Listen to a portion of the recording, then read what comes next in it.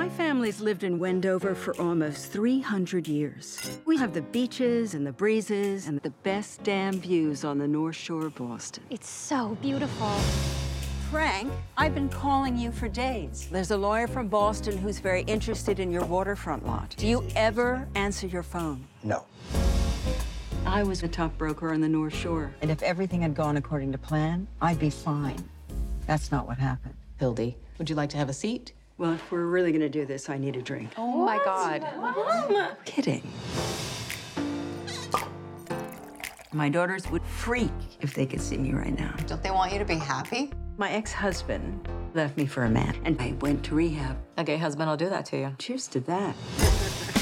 Mom, do you think I'm excited to ask you for money? No, I'm sure it's very hard. Rents, mortgages, tuitions. I need a good year.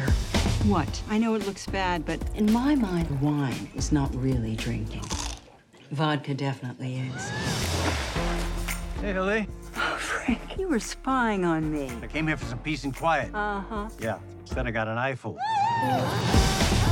There was a time in my life I was quite in love with Frankie Getchell. Cute as a button. You would have been too. All my friends were. You want to come over for dinner? Dinner. It's this meal people eat at the end of the day. It's pretty popular. Sure.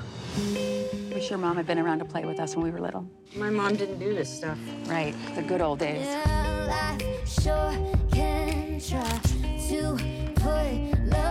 Are you dating Frank Getchell? What if I was? You're really throwing me off. Ew. It's okay to be angry and scared. It's okay to ask for help. I'm tired of sweeping everything under the rug. I didn't realize I was doing that. I feel like myself with you. Usually I only feel like myself when I have a drink in my hand. Do what you need to do, Hildy. I'm not going anywhere. My girls really like you. They're good girls. I was talking about my dogs.